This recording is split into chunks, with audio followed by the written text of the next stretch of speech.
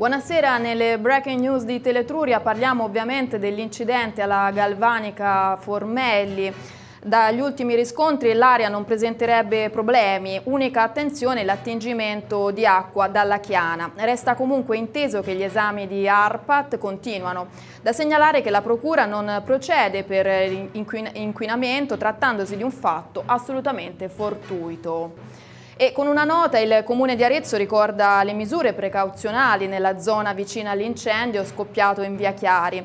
Le limitazioni riguardano lo stazionamento delle persone nelle pertinenze esterne e l'apertura delle finestre delle abitazioni. Si raccomanda di non consumare verdure ed ortaggi coltivati in loco, non utilizzare l'acqua dei pozzi, tenere gli animali in ambiente chiuso e non stendere i panni fuori dalle abitazioni.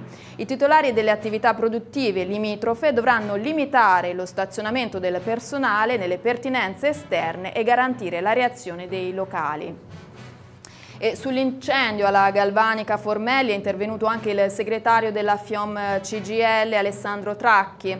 Il sindacato dice è disponibile ad attivare ammortizzatori e misure necessarie a supportare i lavoratori. Anche per le breaking news è tutto e vi auguro una buona serata.